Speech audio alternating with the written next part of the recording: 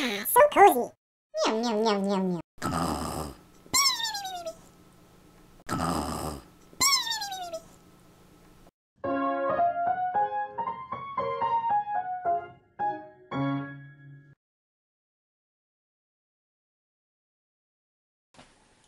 Hey everybody, welcome to a very special edition of the Jayda InStitches show.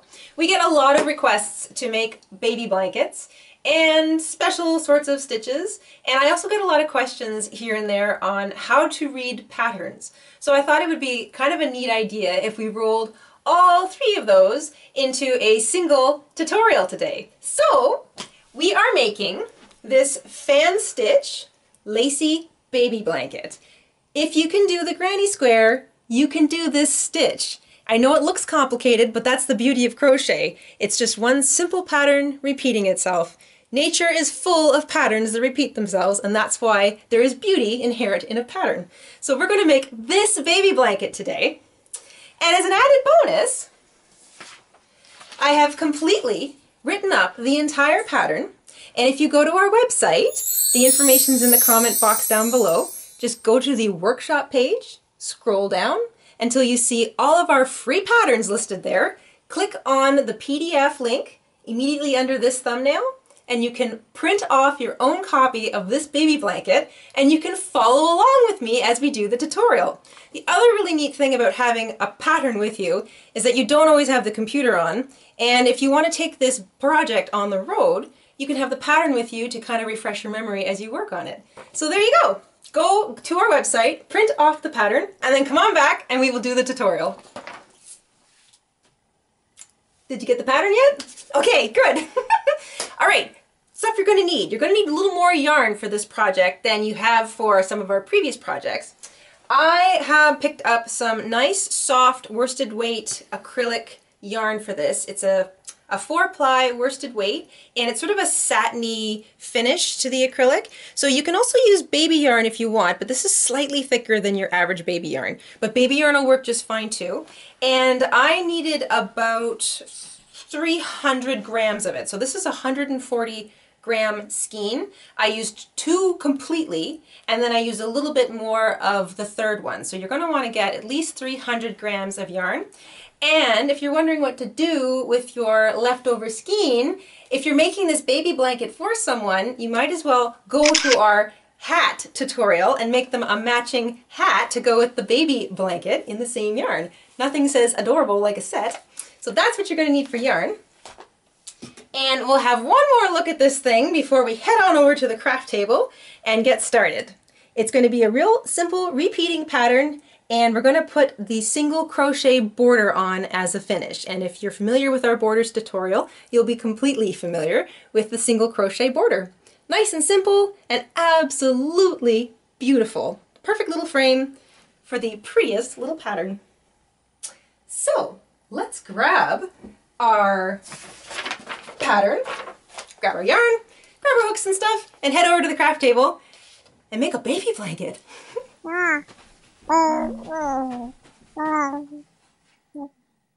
As I mentioned, I'm using a washable worsted weight satin finish acrylic 4-ply yarn, 300 grams of it. You want to remember to use a hook that is going to create a nice lacy effect. So where I would normally use a 4.25 millimeter hook, I'm using a much larger one. It's a 5.5 millimeter hook because I want to create a nice sort of lacy open stitch. So keep that in mind. Anytime you are crocheting, you upsize your hook, you get a much larger stitch, which will in crochet generally cause a more lacy look. So today I'm using a 5.5 millimeter hook. You're also going to need a pair of scissors and far down the road, a yarn needle. And once you've got all that together, let's get going. We are going to start with a slip knot because we are chaining our foundation chain row. So a slip knot is made any way you're comfortable making it. I like to make mine by wrapping it around my fingers and then grabbing it with my hook, but you can make your slip knot any way you're comfortable. Make sure it's not too tight and you want to chain your row to be nice and loose as well. Not super loose, but not really tight. You don't want to have to fight to get your stitches um, made in those chains. So this pattern is based on a stitch count of, or a foundation chain count of 8, multiples of 8, plus 5. So for today's baby blanket, I am going to single, or I'm going to chain a base of 96 stitches plus an additional 5. So for a total of 101 chains. So I'm going to chain 101 chains, and that will be my base row, which is a multiple of 8 plus 5. Um, if you want to make this smaller or larger, just remember your chained row, your foundation chain row, has to be a count of a multiple of 8 plus 5. So I'm going to go ahead and chain 101 chains, and I will see you near the end of that. All right, I have chained 101 stitches, and when you're done chaining, you want to make sure that you go back and you count them all just to make sure you have the right number. So always take a moment to count at the end of each row, especially when you're doing something a lot bigger like a blanket. And uh, once you're absolutely sure that you've got the right count of chains, and remember that's a multiple of 8 plus 5, we're going to start row 1, and this is row 1 of the pattern. The pattern is is consists of two rows repeated, one, two, one, two. And we're going to start with row one. You're going to double crochet into the fifth chain from the hook. So we count one, two, three, four, five. You're going to double crochet, and that is you wrap your yarn around your hook, go through that fifth chain from the hook, wrap your yarn around your hook, pull up a loop. So you have one, two, three loops on your hook. Wrap your yarn, pull back through two of those loops, wrap your yarn, pull back through two of those loops. So you have double crocheted into the fifth chain from the hook. You're going to skip three chains. One, two, three. Into the fourth chain, you're going to put five double crochets. So that's wrap, go through the chain, wrap and go through two, wrap and go through two, and we're going to put five double crochets into this same chain. Foundation rows, the sort of the, the beginning row of any pattern is always a little tricky because you're working all of your stitches into a bunch of flimsy little chains. So when you're working your first row, just remember to be patient and take your time. Make sure you count and uh, don't speed through it.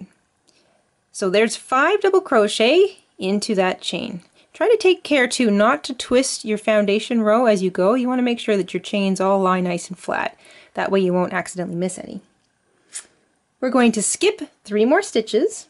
One, two, three. And into that next stitch, you're going to double crochet again to that, that next stitch. Double crochet, chain one, chain one, and double crochet back into that same chain.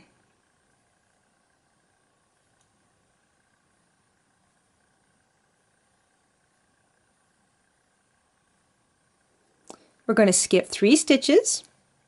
One, two, three. And into that fourth stitch, or the next stitch after those three skipped ones, we're going to double crochet five times.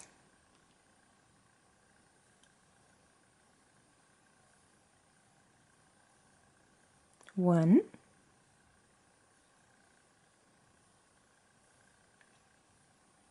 two,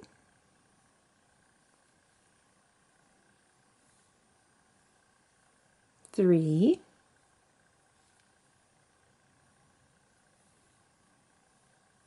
four,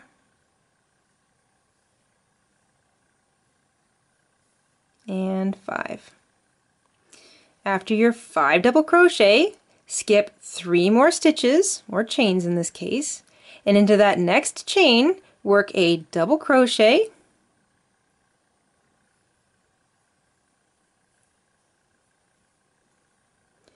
chain one, double crochet. So this is the pattern for the first row. Skip three chains, fan. Fan is five double crochet. You work five double crochet into that one little chain, two, three, four, and five. Once you've completed a five double crochet fan, you skip three chains or stitches, one, two, three. Into that next chain, you work double crochet, chain one, double crochet, and this is a V-stitch. So what you have is a V-stitch to start, skip three, a five double crochet fan, skip three, V-stitch, which is double crochet, chain one, double crochet, skip three, five double crochet fan, skip three, V-stitch, double crochet, chain one, double crochet, skip three, five double crochet fan, skip three, V-stitch, double crochet, chain one, double crochet. You are going to continue this pattern of V-stitch, skip three, five double crochet, five double crochet fan, skip three, V-stitch, skip three, five double crochet fan, skip three, V-stitch, all the way to the end of row one. And that is where I'm going to pick back up with you.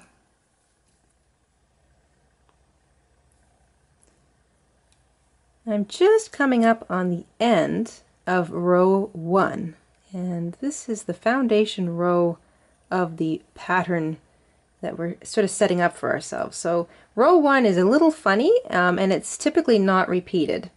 So I'm just put in my last fan, so my last five double crochet fan. I skip three stitches, one, two, three, and into that last stitch, I'm going to end the row much the way it started. I'm going to double crochet, chain one, and double crochet. So I've begun the row with a fan, or sorry, with a V-stitch, and I've ended the row with a V-stitch. Now, technically, our row began with a sort of a chain five. That's why I say this found this stitch um, pattern is based on a multiple of eight plus five, because that plus five is your V-stitch beginning. It's a double crochet, counts as a double crochet chain one. And that is what your first row is going to look like. And once you've got that all done, we're going to move on to row two. So to begin row two, we're going to turn our work over. We're going to chain three, and this chain three counts as your first double crochet.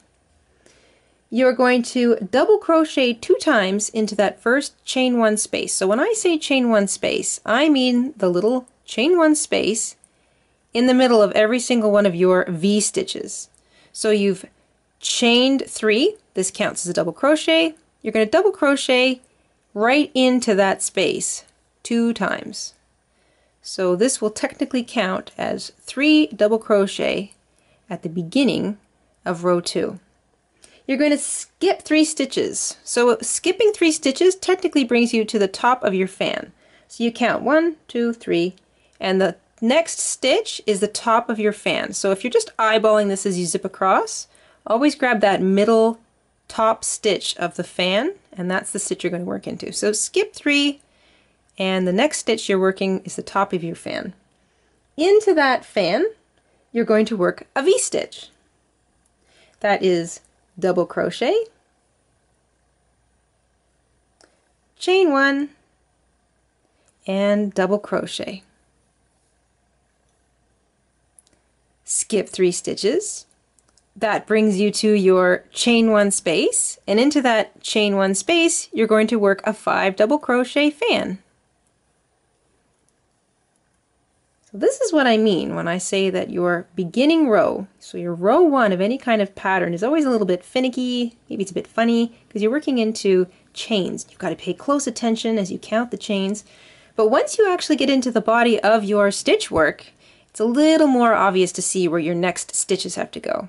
So you skip three, which brings you to the top of your fan from the previous row, and into that top stitch, you're going to work a V-stitch. Double crochet, chain one, double crochet. Skip three stitches, which just happens to bring you into your next chain one space, and you're going to double crochet five times. So that's that pretty little fan pattern. And that is going to be row two.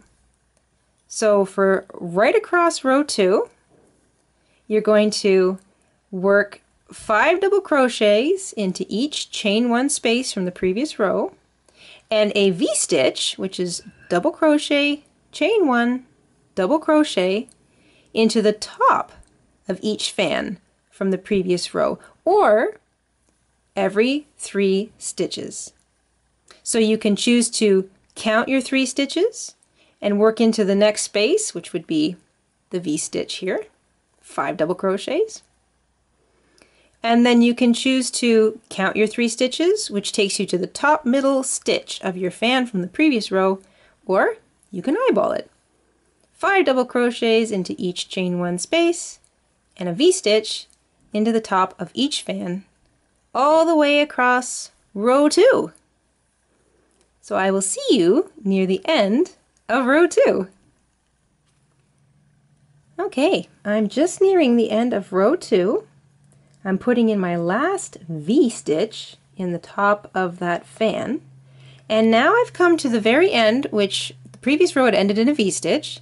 So I'm actually going to end this row the way I began it. I'm going to work three, only three double crochets into that chain one space to finish the row. Now why am I only doing three? Well, if I put in five, it would create a fan and that would end up giving you an edge that wiggled in and out all the way up. So what's going to happen is that your edge is going to remain pretty much straight because if on every other row you start and finish with three double crochets, so like a half a fan, you're going to continue with a nice straight line.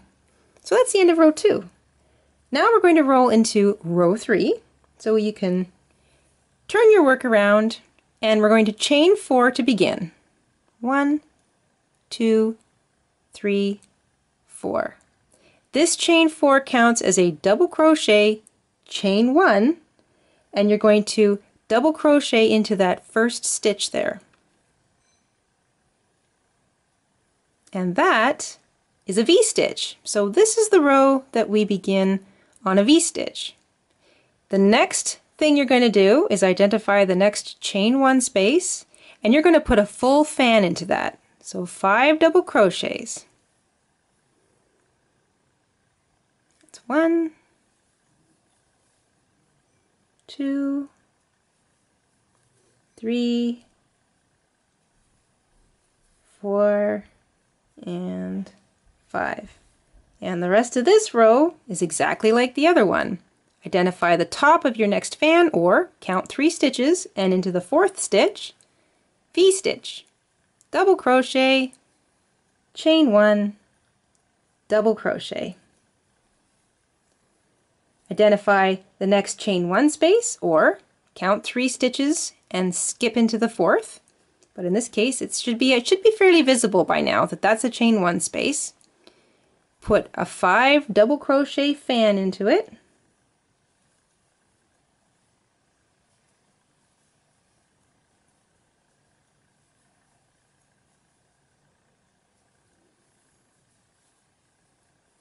Skip three stitches or to the top of the next fan and put in a V-stitch. Double crochet, chain one, double crochet.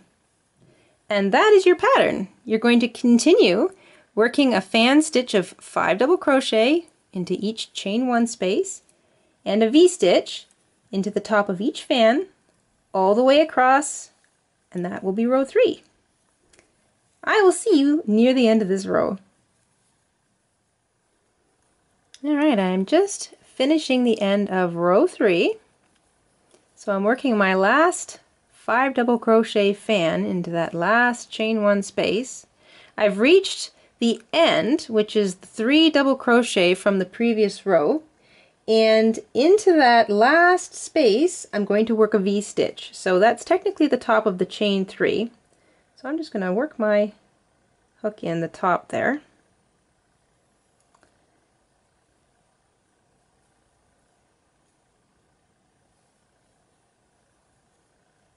And I'm going to work my V-stitch into the top of that chain three. There. And that is row three. So now you can see there's our foundation chain row. Our row one is where we sort of establish the pattern that we're going to build on. Row two began with three double crochet or chain one or chain three which counts as a double crochet. So three double crochet and then you fan. And then row three begins and ends with a V-stitch. So three double crochet, chain one, or sorry, one double crochet, chain one, double crochet, or if you're starting the row, chain four, which is a double crochet, chain one, and then a double crochet. From here on out, you're just going to repeat rows two and three. So we've completed row three. Row two begins with a chain three. That counts as your first double crochet. And because the first thing that you've come across is a chain one space and you're starting the row, your chain three counts as a double crochet.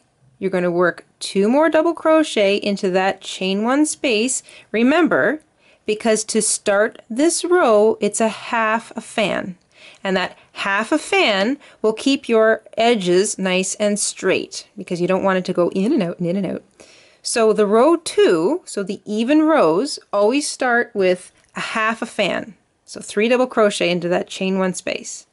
Then you skip three or go to the top of your fan and put in a V-stitch, which is double crochet, chain one, double crochet, and then you continue the pattern across. Go to the next chain one space, put a five double crochet fan into it, skip three, go to the top of the next fan, put in a V-stitch, and so on. When you get to the end of every even row, you'll be working into a chain one space. And I'll just show you quickly. So the end of this row, this row ends with a V-stitch. And remember, if you're ending a row, you want to put in a half a fan. And I will just do one more repeat of this so that when we get to the end of this even row, I'll show you how the odd rows start again. All right, I'm just ending this row. This is row four. It's an even row. And when I get to the end of an even row, I have to work into the V-stitch from the previous row. I'm ending with a fan, but because it's the end of the row, I want to use a half a fan. So only three double crochets.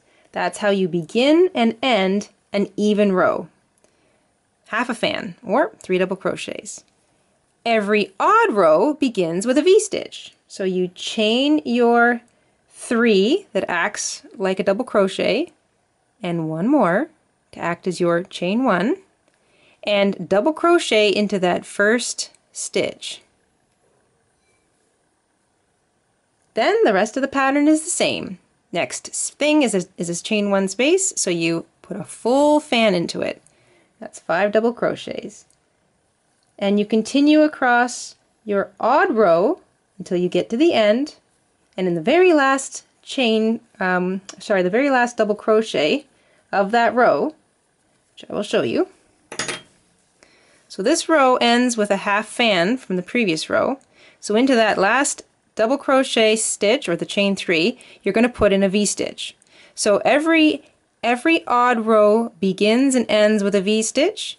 Every even row begins and ends with a half fan. You can continue this little pattern of repeating odd, even row, odd row, even row, odd row until it's as tall as you want. I'm going to try and make mine roughly square. So I'm going to work at least 30 rows of this, probably a lot more, but we'll find out. This is entirely up to you. You can make this square, you can make it rectangular. Just keep adding rows, but when you're finished, make sure you end on an even row. So always end your final pattern on an even row. So you guys can work away at that for a while. I'm going to work away at mine, and I'll see you somewhere near the very top of my pattern stitched blanket.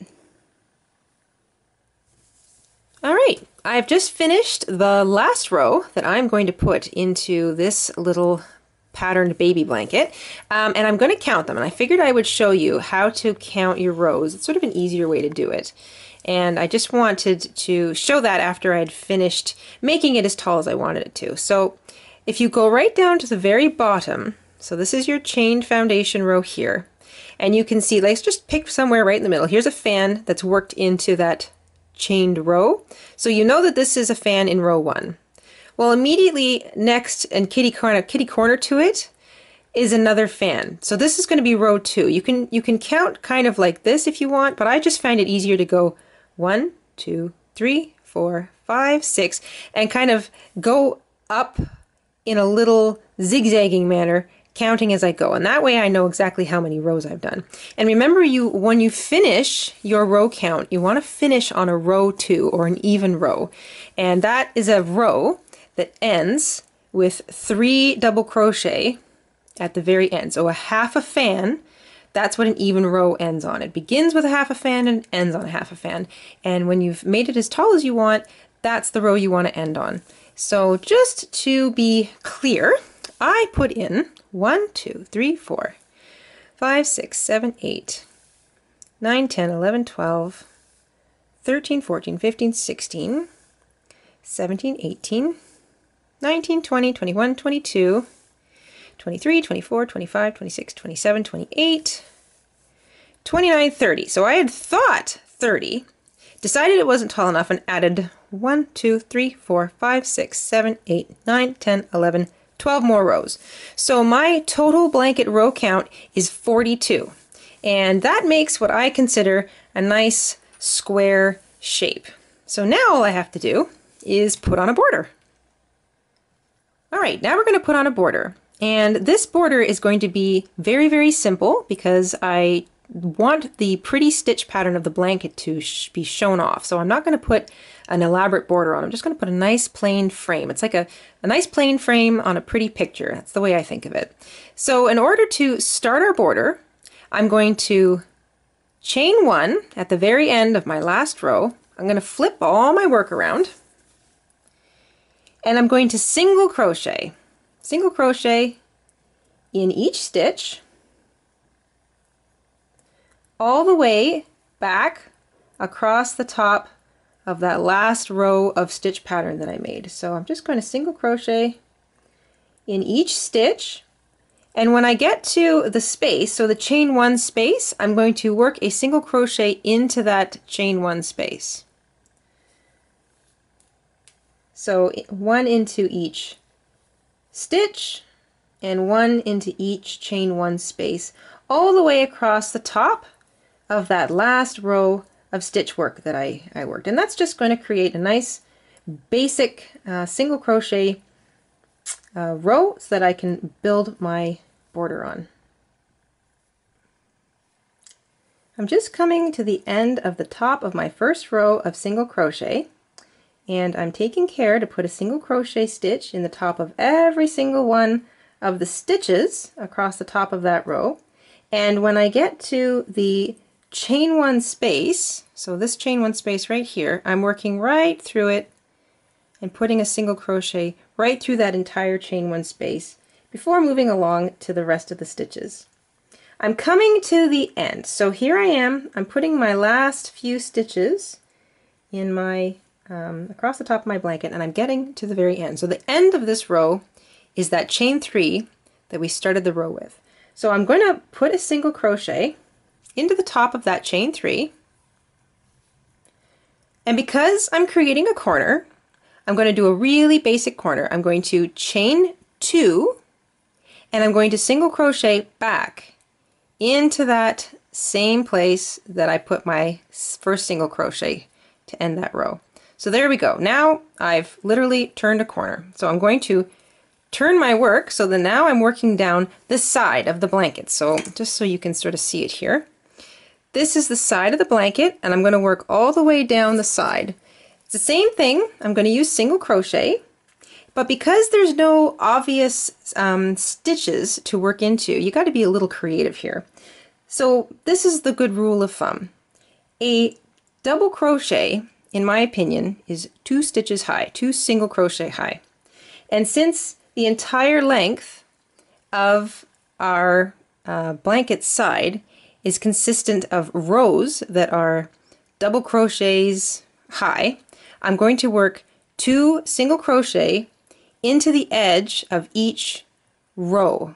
So I've put one in the edge of this one already. So I'm going to fit my hook in and make another one. Then I'm going to move on to the next double crochet stitch.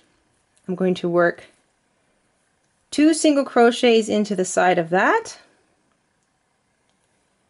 and be patient because it's a little funny, but this is the whole point of putting on the single crochets along the side. Also good to note, I'm doing it in the same color. The reason for that is once I have my base foundation single crochet border row on, you won't be able to tell if there's a little bit of higgledy-piggledy along the side. Using the same color just blends the whole thing together and it's not as obvious.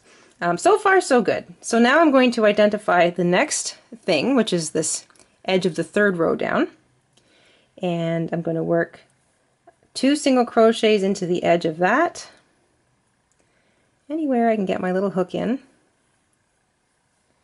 Then I'm going to identify the next one, and this is, this is, remember, these are all either chain threes or double crochets. So find a place that your hook will go into and put two stitches into the side of each one of these rows. And I'll show you that again. So there, it's nice and straight. Using two single crochets per row end will not uh, make your work buckle. Um, if you put in too many, it'll get ripply. If you put in too if you put in too few, it'll it'll pinch it together. So that's why I think a good rule of thumb is two single crochet per double crochet edge. So if your edge here is a double crochet, put two single crochet down the side of it. And now this is going to take you a while because you want to make sure that you're putting a single crochet through the stitch, or two single crochets, I should say, through each of these side stitches. So it's going to take you a little while. Be patient. And I'm going to steadily work away at this until I get down to the next corner. And I will see you when I get there. Alright, I'm just coming down to the end of the side that I was crocheting down. So this is this is our first side. I'm just getting down to the end of it. And I wanted just to show you quickly that by putting two single crochet in the end of each of those rows all the way down, I've got a nice flat even edge going. And this is a nice way to create the foundation border row. So I'm using the same color and I've done two single crochet in the end of each of those rows all the way down. And now I'm at the bottom corner and there's my little tail where I started all those ages ago. and I'm going to work right into that corner stitch. So this is also the bottom the bottom stitch. Sometimes it's a bit hard to find. So you just grab that little tail and yank it up. And there we go. I'm going to put, I'm going to do the same thing in this corner that I did in the first corner. So I'm going to put in a single crochet, I'm going to chain two, and I'm going to work a single crochet back into that same space. And that effectively turns a corner for me. So now we're along the bottom. This is the bottom or the underside of our foundation row. This is a little easier to work obviously than the sides because you have um, distinct chains to work through. And you're going to want to work one single crochet into each of these the undersides of these chains from your foundation row. So obviously a lot a lot easier to see where your next stitch is to be entered um, than working down the sides. But if you've gotten this far and everything still feels nice and copacetic, then you are just booting along fine. Okay, I'm halfway across the bottom row and I thought I would just do a little bit of a zoom in here for you, just in case you're having a bit of trouble seeing where your next stitch should go. So the underside of the chain is a little funny looking. Um, you've, you're kind of confronted with three pieces. You've got the top sort of loop, you've got the bottom loop, and then you've got the loop that loops into the next chain. So it's, it's a little funny looking. What you want to do is just fit your hook in underneath the top loop and that little loop that wants to move into the next one. When you get to the bottom of a, um, a chain where you obviously worked a giant fan stitch, just put your hook through that whole space. Then the next one, that would be this one. You see there's the top loop, which is sort of the inside of this loop coming over, and then there's the bottom loop, and then there's that little middle bit that leads into the next one. Just stick your hook underneath those two pieces and that's where you want to put your single crochet. That is, I find, the easiest way to work the underside of a foundation row. But really, all you guys want to do is just create a nice, even um, stitch count, a nice, even, flat border edge. And really, however you get that is up to you.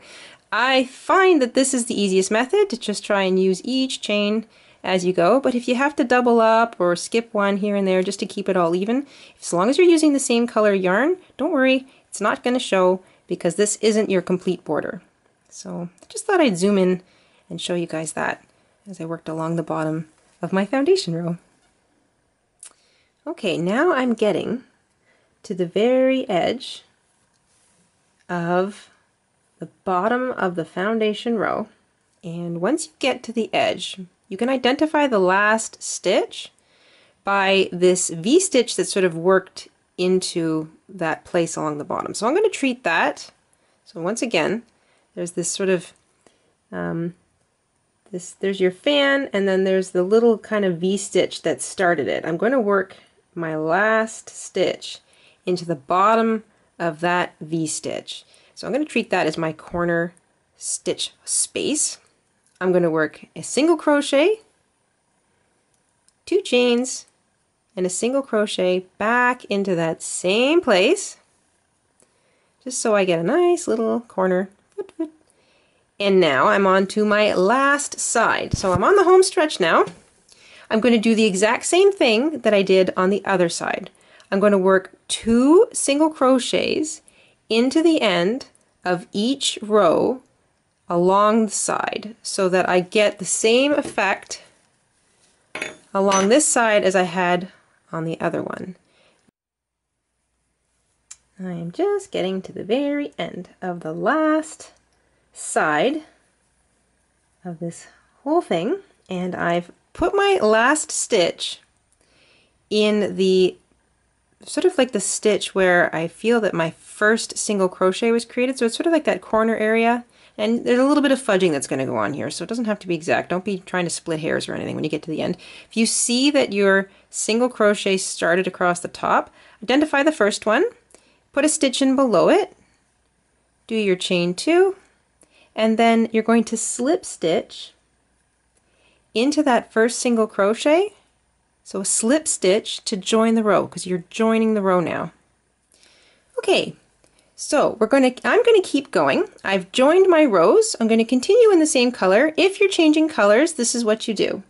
You identify that little chain two space that we created here, join your yarn with a slip stitch, chain one, and then you single crochet, chain two, single crochet into that corner.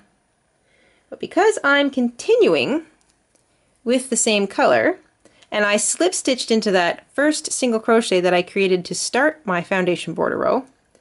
I'm going to chain one. I'm going to single crochet into that first stitch and I'm going to single crochet into every single stitch along the top of this row. if you followed our borders tutorial, you will be familiar with the single crochet edge. And that is basically just putting layers and layers and layers of single crochet around and around and around your blanket. That causes a nice strong border to be made. It creates stability. Um, it keeps all of your fancy stitch work from getting pulled one way or the other. And it just gives a nice, plain, simple edging to your blanket. So I'm going to continue here in my single crochet. And when I get to the end of this row, I'll demonstrate another corner. All right, I'm just nearing the end of my first side of my second row. And I've gotten to the very corner and there's my little chain two space that I created and it's going to be kind of small so let me just stick my hook in there so you can see it better. So there's my chain two space separated by the two single crochets. Into that space I'm going to work single crochet, chain two for a corner, and single crochet.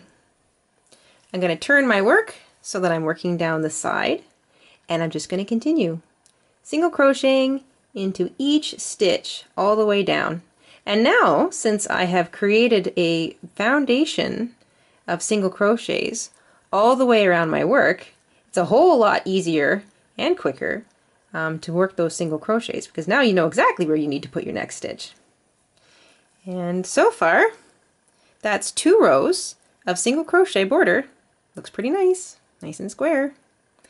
All right, from here on out, if you're just going to continue, um, you can continue in the same color or you can change colors every row. Just remember to fasten off your work and join your work with a slip stitch in a corner space in each corner that you single crochet up to, and so into each of those chain two corner spaces, you're going to work single crochet, chain two, single crochet, and that will create a brand new corner space for your next border row. And you can put on as many rows as you like. Just remember, you always want to try and use the same sized yarn um, and preferably the same feel, especially when you're making baby blankets. You want that edge to be nice and smooth. And you can put on as many border rows as you like. You can make that row as thick or as thin as you like. It's entirely up to you. Me, I'm going to put on a total of four border rows and then I will nice and neatly fasten off, weave in my ends, and I'll show you what it looks like when I'm all finished. So I'm just finishing my second border row and I just wanted to demonstrate once more how to close off your row. So I'm still doing the same color and I didn't join a new color. Otherwise it would have been really, really obvious because I would have joined it in this sort of corner space. But here's the corner space that I finished row one with. And you can see that there's my first single crochet of my second border row right here. So into that space, I'm going to work my last corner, which is single crochet, chain two, single crochet, and I want to join now. So I'm going to put my hook through that first single crochet of the second row and I'm going to just slip stitch to close it off. There.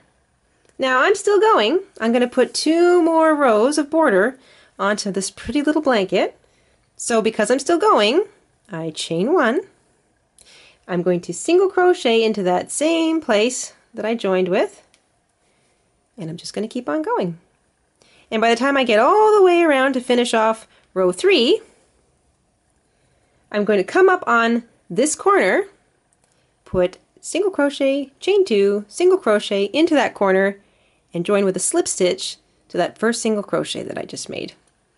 So I'm going to put in two more rows then I will snip off, weave in my ends, and I'll be all done this pretty little blanket.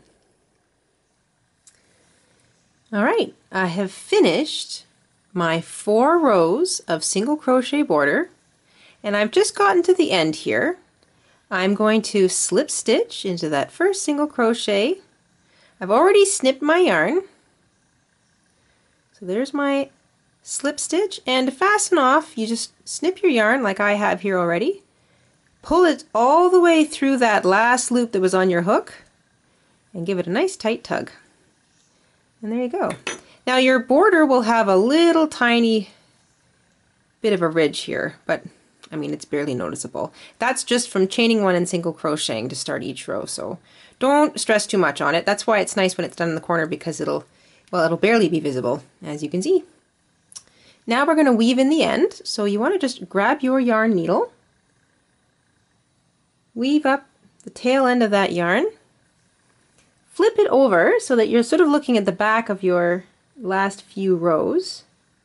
And I like to pick up a few stitches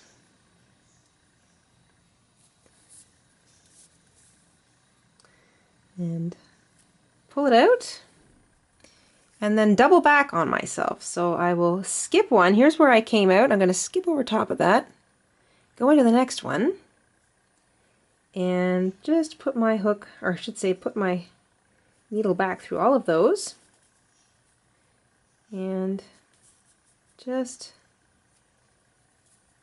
make sure that I haven't pulled it too taut. And I'm just going to trim off that last little bit. So grab my scissors, and just snip off that last little edge. There. Now, if you're giving this away as a gift, or even if you just want to keep it for yourself, I recommend a little bit of light blocking, and that's really simple. You just lay this down on top of your ironing surface on a towel, set your iron to steam, and then lightly run the steam over top of the entire blanket. Don't touch it to the blanket. Just let the steam loosen up the fibers and that will make all of your rows lie nice and flat. So that is a nice little finishing touch. And here is the entire blanket. It's so big it doesn't even fit in the camera shot. ah, this is so pretty. And there you go, one pretty little baby blanket. I hope you guys enjoyed making this as much as I did, and if you are making it for someone, be prepared to hear, wow, you made that? Because it really does look fancy, doesn't it? So, Thank you so much for tuning in, everybody. This was a special edition of the Jayda InStitches show, and we really, really, really appreciate you guys coming along for the ride. Remember, you can follow me on Facebook, and if you make this, please post a picture for me to see it, because I love to see what you guys make using our tutorials. You can also follow us on Google+, we're on Instagram, we're on Pinterest, and of course you can follow us on Etsy. And we have lots of cute little patterns in our Etsy shop for sale for a nominal fee. If you don't mind supporting us, we really, really appreciate it and it helps us keep going here at the Jayda InStitches show. So thank you so much for all of you who have popped in and supported us there. And to everyone else who posts pictures and pops in every week to see what we're up to, thank you so much. We'll see you again really, really soon for another Jayda InStitches show tutorial or a quick tip. And Happy crafting, everybody. Bye.